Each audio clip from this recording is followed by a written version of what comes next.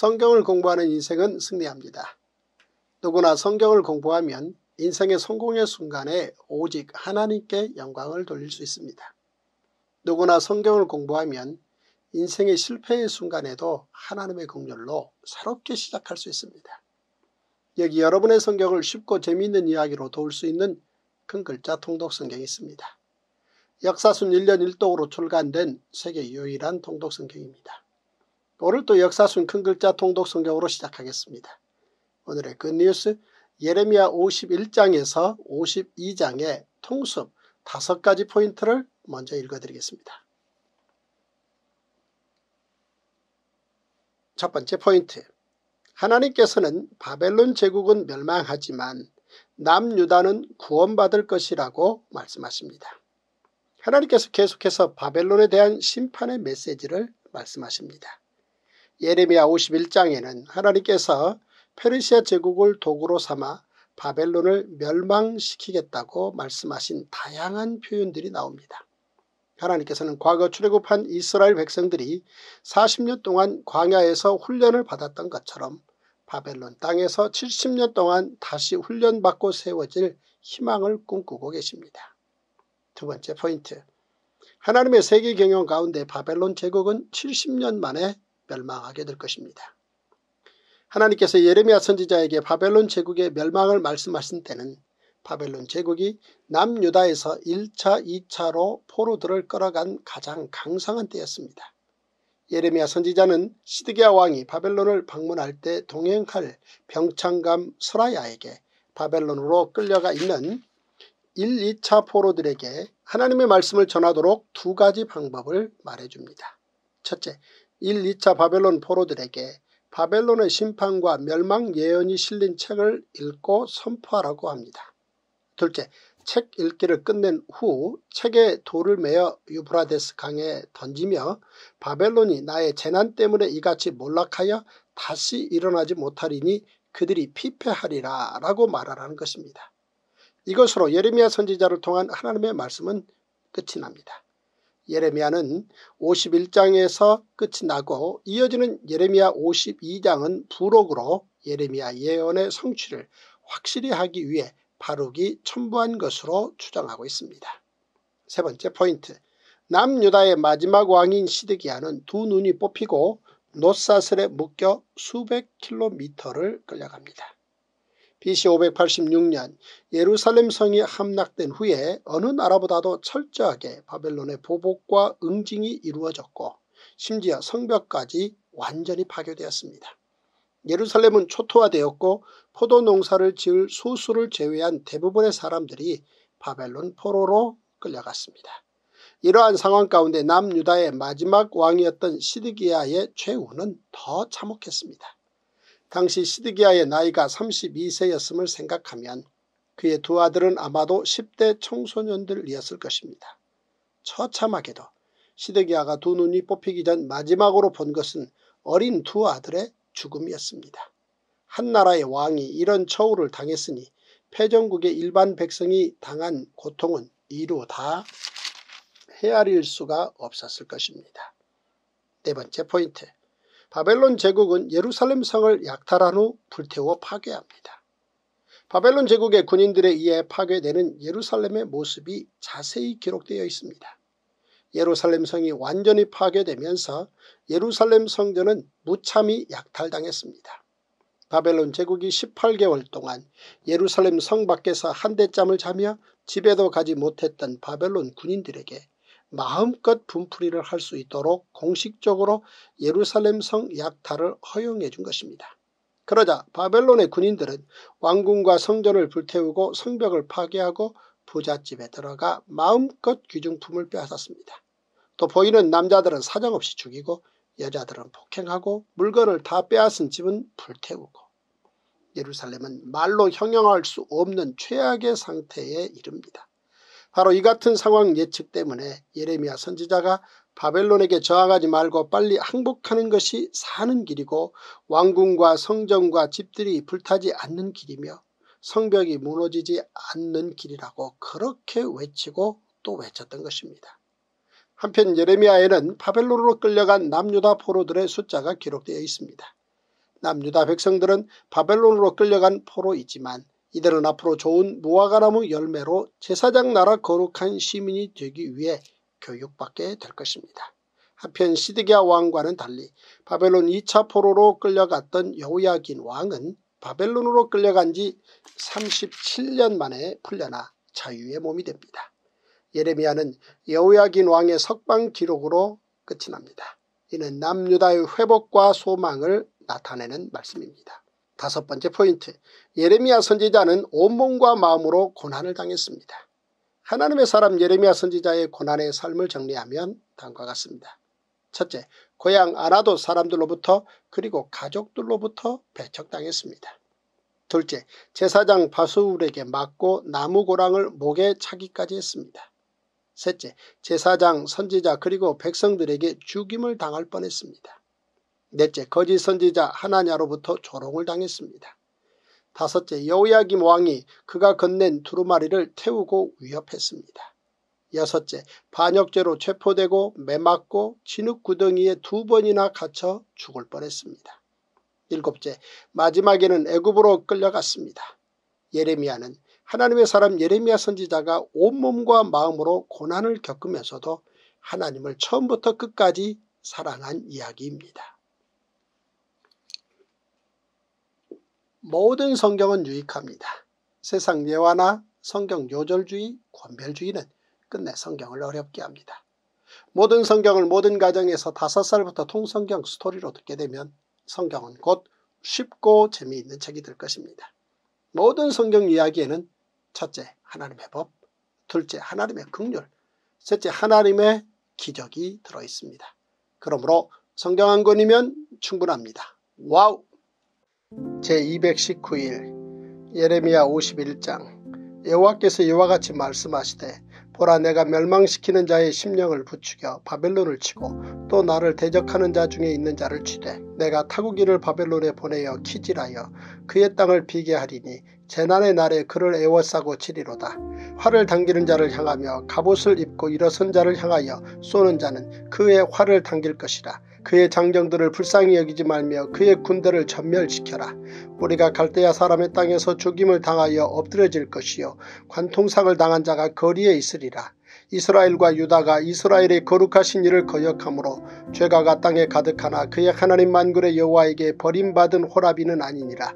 바벨론 가운데서 도망하여 나와서 각기 생명을 구원하고 그의 죄악으로 말미암아 끊어짐을 보지 말지어다. 이는 여호와의 보복의 때니 그에게 보복하시리라. 바벨론은 여호와의 손에 잡혀 있어 온 세계가 취하게 하는 금잔이라 문 민족이 그 포도주를 마심으로 미쳤도다. 바벨론이 갑자기 넘어져 파멸되니 이로 말미암아 울라 그 상처를 위하여 유양을 구하라 혹 나으리로다. 우리가 바벨론을 치료하려 하여도 낫지 아니한즉 버리고 각기 고향으로 돌아가자. 그 화가 하늘에 미쳤고 궁창에 달하였음이로다.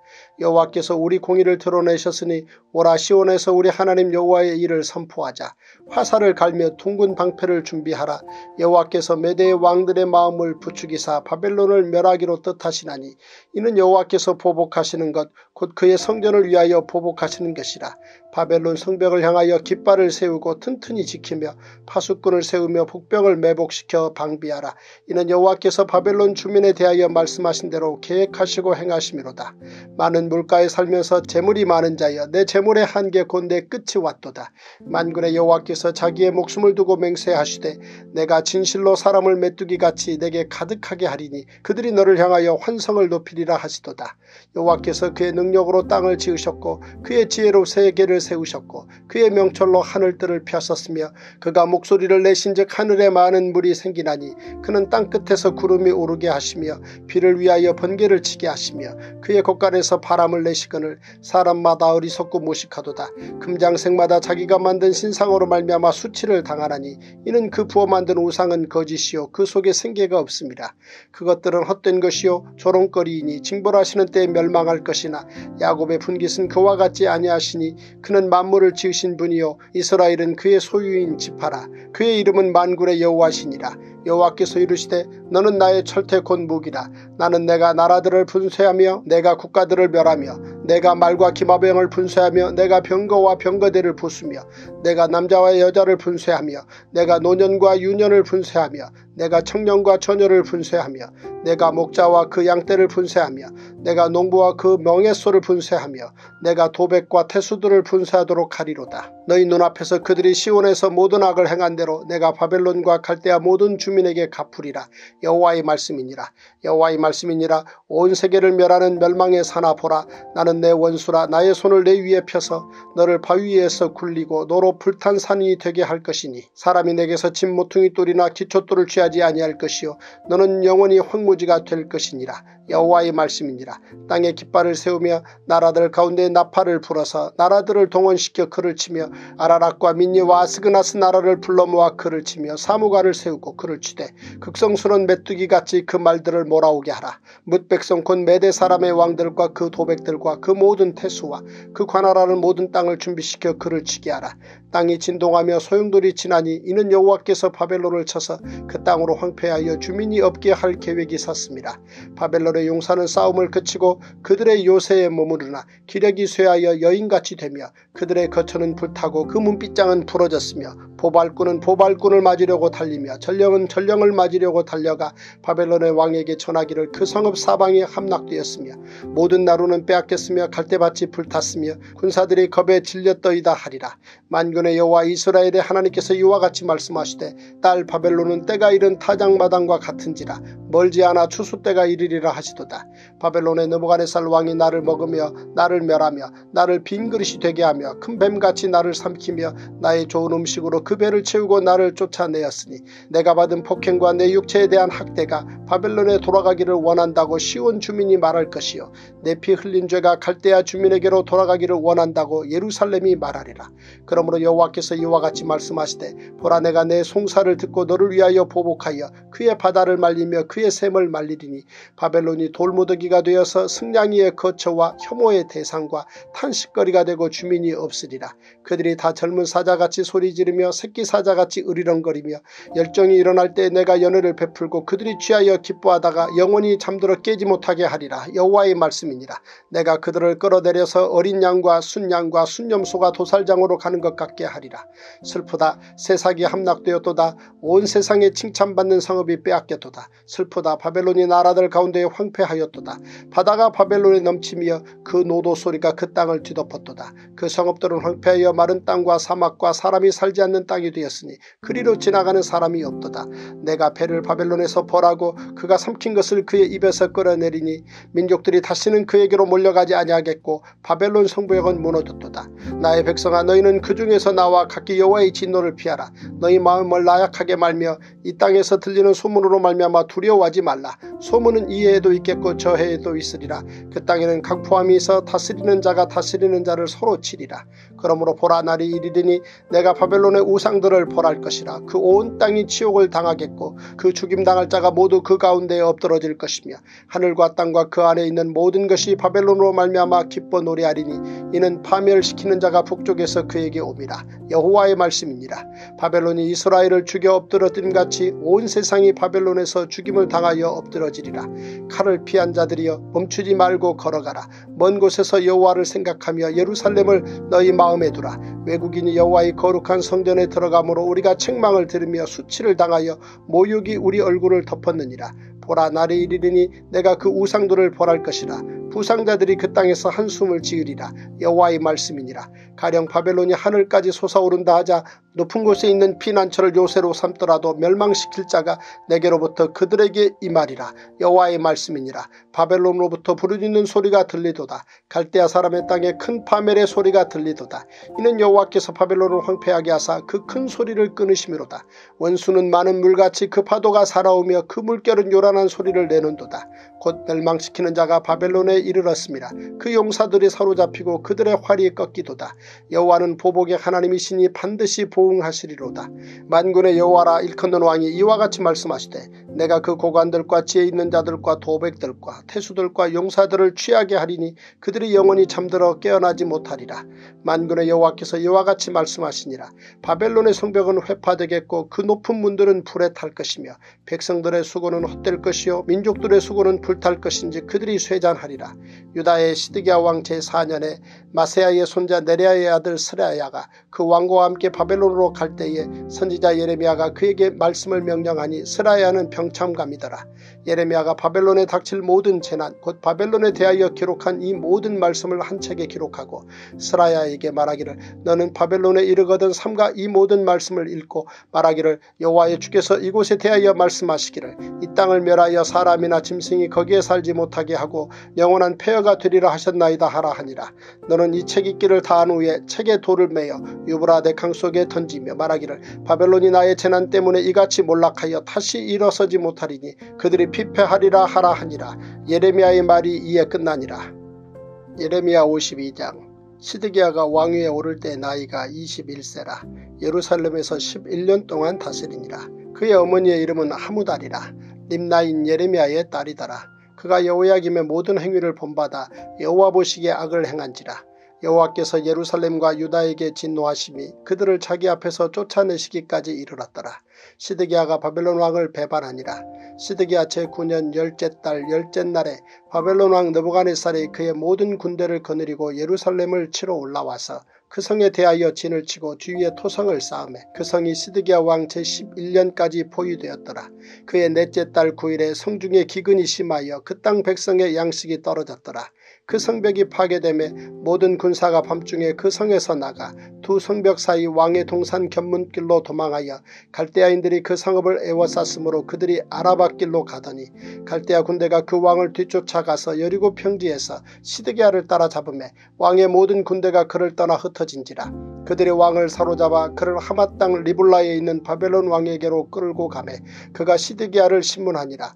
바벨론 왕이 시드기야의 아들들을 그의 눈앞에서 죽이고 또 리블라 에서 유다의 모든 고관을 죽이며 시드기야의 두 눈을 빼고 노사술로 그를 결박하여 바벨론 왕이 그를 바벨론으로 끌고 가서 그가 죽는 날까지 오게 가두었더라.